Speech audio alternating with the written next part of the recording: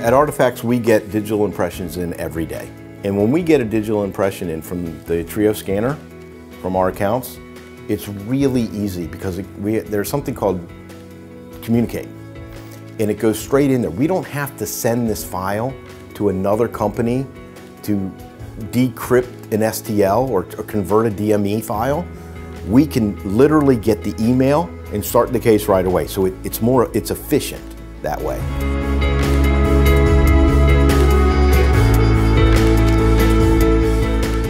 I get a notification within 3Shape that I have something waiting there for me.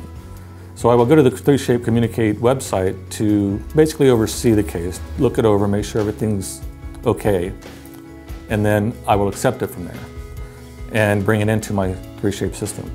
I've worked with several uh, scanner, intraoral scanners uh, relative to getting the digital scan. I found that Trios is one of the best high quality intraoral scanners. I get, I get some great scans, very good density data, um, very little scatter, and just the ease of working with that and bringing it into the, into the 3Shape system is, uh, you know, the quality is, is definitely one the, probably one of the highest I've ever seen.